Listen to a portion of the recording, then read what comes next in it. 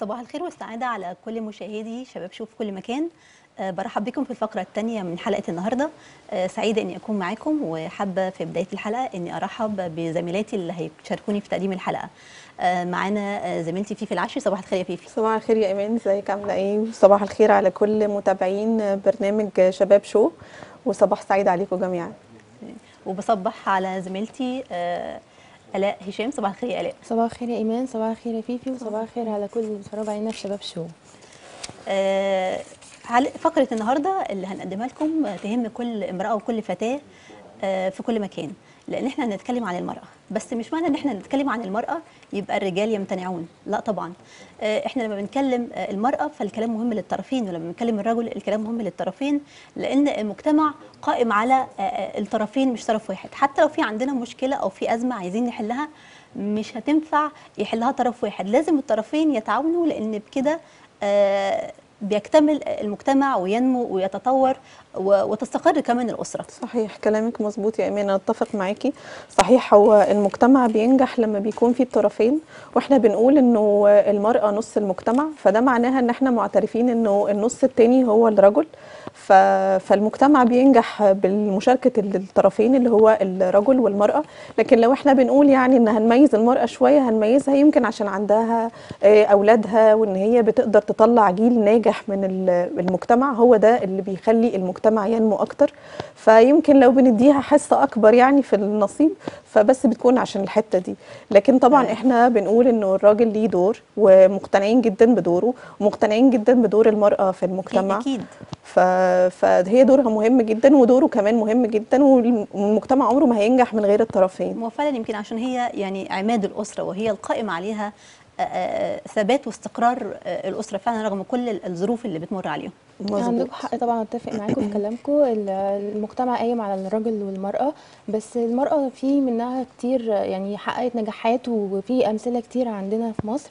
بس رغم كل الإنجازات والنجاحات اللي هي بتحققها بس بيواجهها في صعوبات وحاجات بتأثر عليها في المجتمع. وده بيبقى نتيجة العادات والتقاليد اللي إحنا تربينا عليها والأهالينا بيعلموها لنا. وفي بعض الناس ممكن ما بيسميهاش عادات وتقاليد قوي في بعض الحاجات بيتقال عليها عاهات وتقاليد.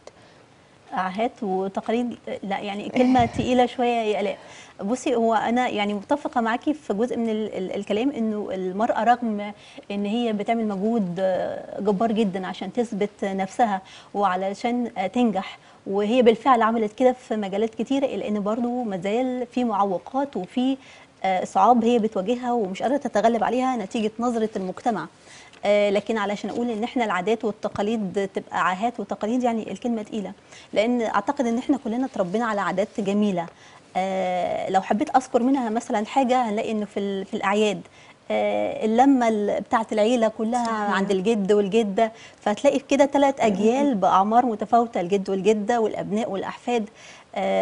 حاجة جميلة. آه، تجمع أسري آه، أسري رائع كلنا تعودنا عليه وعلمنا الترابط علمنا انتماء إن إحنا ننتمي لأسرتنا الكبيرة علمنا إن إحنا ننتمي آه لبلدنا. فيعني هي عادة لكن ليها معنى آه أعمق بكتير. لو بصينا هنلاقي إن إحنا كلنا يعني مر علينا أو بنشوف آه أحداث مثلا ولاده طفل جديد آه زواج حتى لو آه وفاة. فالحاجات دي كلها إحنا اعتدنا إن إحنا نحتفل بيها بأشكال معينة. والله ممكن يبقى في فروقات صغيرة بين أسرة والتانية بس هي هي اجمالا إحنا اعتدنا على شكل معين للاحتفالات دي. واحيانا كمان بيبقى فيها طقوس دينية وصلوات ما نقدرش نقول عليها ابدا عادات وتقاليد. حتى على المستوى الإنساني لما بتساعدي الناس الآخر مساعدة الآخر بشكل عام حتى لو أنت ما تعرفيهوش آه احترام الكبير. إحنا تعودنا على طريقة معينة إن إحنا نتعامل بيها مع مع, مع الشخص الأكبر مننا. وفي لغة احترام ما ينفعش نكسرها ما دي عادات وتقاليد. وفي حاجات كتيرة جدا يعني. فما أقدرش أقول إن كلها عاهات لكن في جزء منها طبعا لأن العادات دي اللي هي ملهاش علاقة بالدين. لأن في بعض العادات إحنا آه بنمارسها ليها علاقات بالدين أو تنبثق منها شوية أو عشان توضحها. لكن في في عادات تانية كتير هي من صنع الإنسان. أنا معاكي إنه في بعض منها آه لأ مغلوط. وفي بعض منها بيشوه الحياة وبيشوه طريقة التفكير ودي اللي أقدر أقول عليها أفكار مشوهة أو والتشويه ده توقعيها فأنا أقدر أقول عليها فعلا إن في بعض الأفكار اللي بتعوق تقدم المرأة والمجتمع بشكل عام دي ممكن أقول عليها فعلا إن هي عاهات فكرية.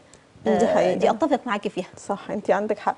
ومن كلامك والله فكرتينا كده بلمة العيلة والقعدة وفكرتينا ببيت جده كنا بنتجمع فيه. والكلام اللي كنا بنسمعه من جدتي والكلام اللي كنا بنسمعه من ماما إزاي نتعامل مع الجار و... و... وإزاي الحاجات اللي اتربينا عليها العادات القديمة الجميلة اللي اتعلمنا عليها إزاي ن... نسأل على جارنا إزاي نهتم بيهم. دي يعني إحنا بنعيش لحظات أو أوقات آه، رائعة.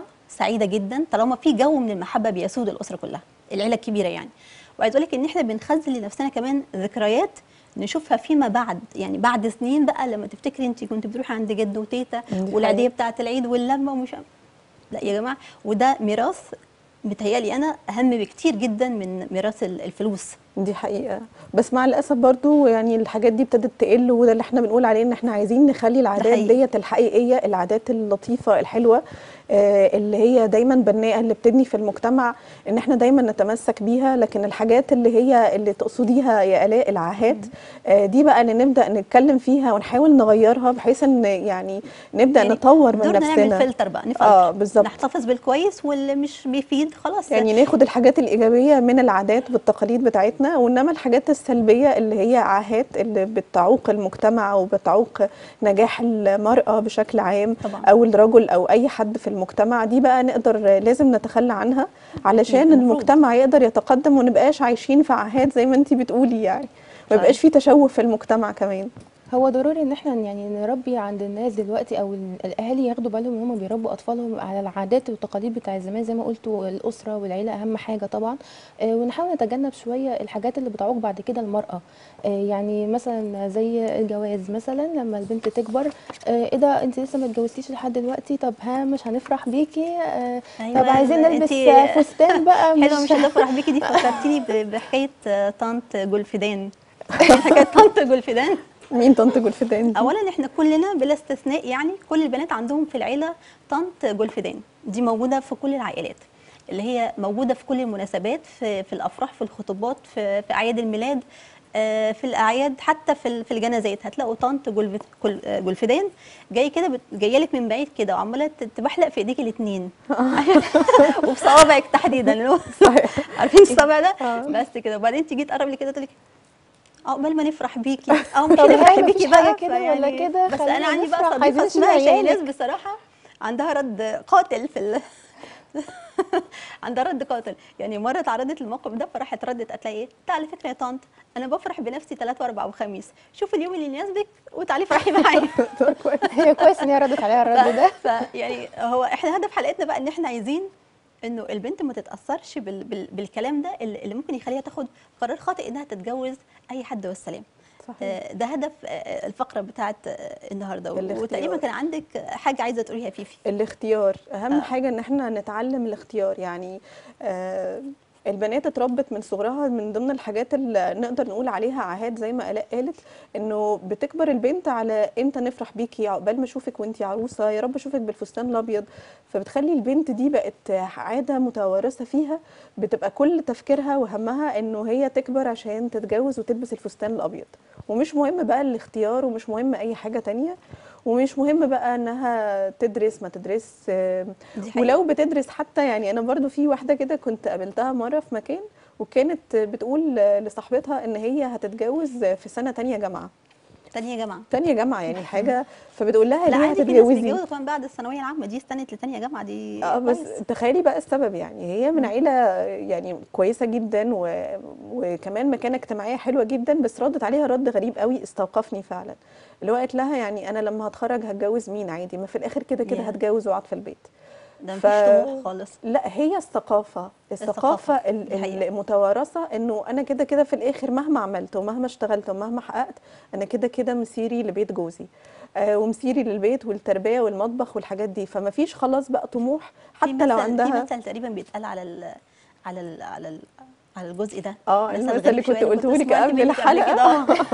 في مثل كده كنت بسمعه برضو كانت جدتي بتقوله آه يا أبو البنت آه يا أبو البنت آه ما تعوزها اللي آه مسيرها لبيت جوزها. برافو عليكي والمثل ده أصلا تاني بقى يعني تاني تاني معلش عشان آه. أنا يعني كنت أول مرة أسمعه يابا البنت ما تعوزها آه، مسيرها لبيت جوزها. طيب يعني فسروا لنا بقى المثل عشان كمان ال- الساده المشاهدين اللي بيسمعونا. يعني إيه يا أبو البنت ما تعوزها مسيرها لبيت جوزها؟ يعني هقول لك هو ال- المثال ده منصف شوية للراجل لكن هو مدمر لحقوق الست في تماما في يعني. أمثال كتير آه يعني طالعة مدمرة آه، لحقوق المرأة ال- بشكل عام. آه فهو بتخلي بقى الراجل اللي هو الأب إنه ما يهتمش قوي ببنته ويهتم بتعليمها ويهتم بعملها ونجاحها في المجتمع لأنه في الآخر هو مش هيقدر يعتمد عليها مش هتقدر Yeah. تديله حقق له اي نجاحات لأنه الولد بقى هو اللي هيقدر يساعد وهو اللي هيشيل اسمه وهو اللي هيكبر الدنيا وهو بس اللي هيكبر المجتمع مجحف جدا للي بتعمله المرأة حاليا بالظبط. وانت كمان عندك أمثلة حية جدا في المجتمع دلوقتي. يعني إحنا عندنا آه، شوفي بقى إحنا عندنا في البرلمان دلوقتي وعندنا كام وزيرة وشوفي عندنا عندنا كوادر في المجتمع هايلة جدا من السيدات وبتقدر كل يوم الست المصرية تحقق نجاحات فظيعة.